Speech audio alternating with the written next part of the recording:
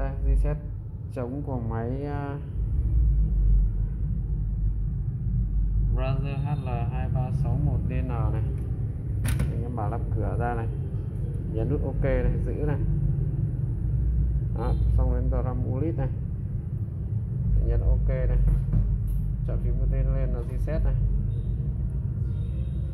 Accept ok này xong này.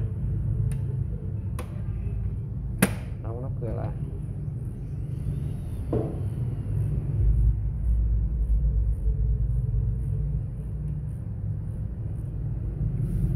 Rồi bây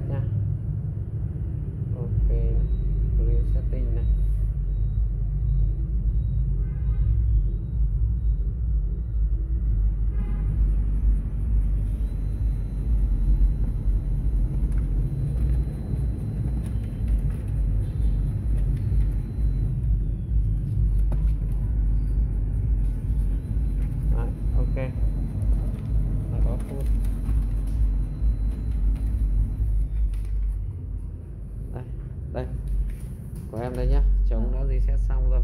Đâu cái tờ cái tờ vừa nãy đâu rồi nhỉ? Anh đi lúc đầu anh anh anh anh đến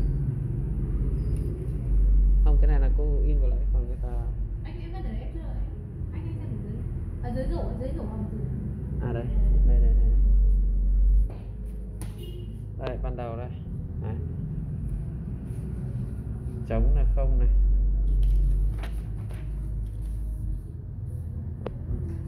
đây, trước khi ờ, reset đây sau khi reset đây.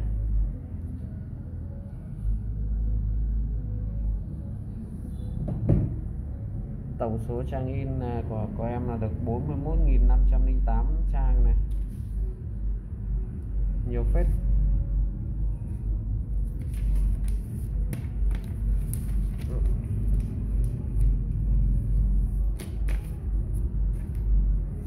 Rồi ok rồi.